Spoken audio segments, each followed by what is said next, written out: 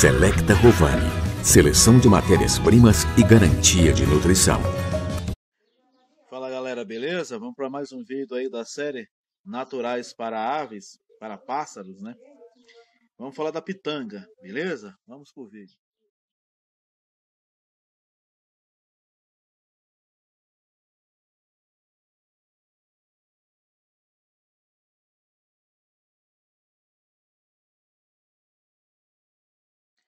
Então, pessoal, as duas principais funções aí do uso da pitanga para pássaro, tá?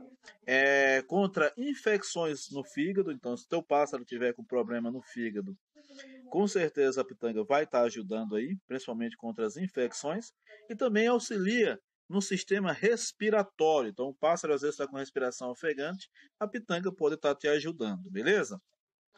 Então, pessoal, como que usa, né? Qual a indicação do uso aí da pitanga?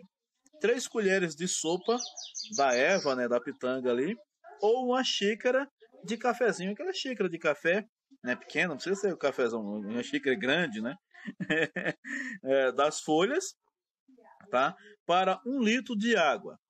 Você vai deixar ferver, vai fazer o chá, depois que a água voltar para a temperatura normal, depois que a água esfriar, você vai servindo todos os bebedouros. Pode fazer o preventivo para todas as suas aves, tá? Por sete dias. Sete dias você pode fazer aí para tratar principalmente das infecções do fígado ou dos problemas respiratórios, beleza? Como preventivo, uma vez a cada 15 dias. Valeu? Tamo junto, até a próxima.